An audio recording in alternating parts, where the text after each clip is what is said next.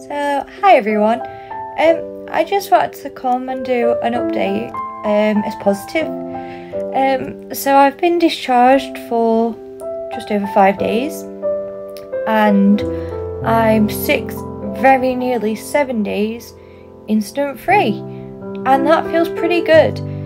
Like sectioned for seven months, and I even like towards the end, I didn't achieve more than maybe three or four days without an incident. But since I've been home and I've been in control and felt able to choose actually, do I need to self destruct at this moment or do I need to nurture myself?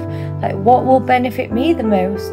But the fact that I've done it, not someone's expectation of me, not somebody stopping me or taking away the opportunity, but me wanting to care and love myself and accept and understand myself is what's got me to this point.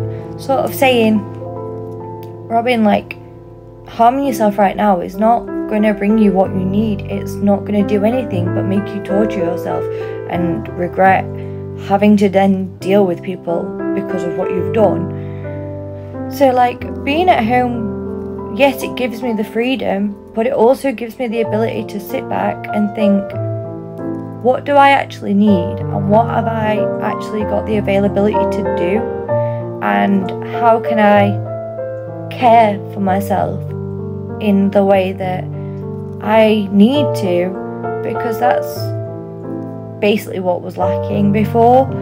I didn't care because other people didn't care. But I now I'm realizing I do care about myself and that's okay and it's okay to choose yourself and what will help you heal, whether that be your inner child, your mind, your thoughts, your obsessions, anything, but sort of cho- being able to choose to not destroy myself is liberating.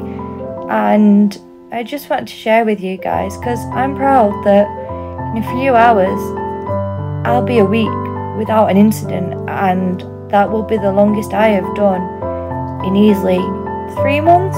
So it's it's good. It's really good, and I've done it at home without needing hospital or staff.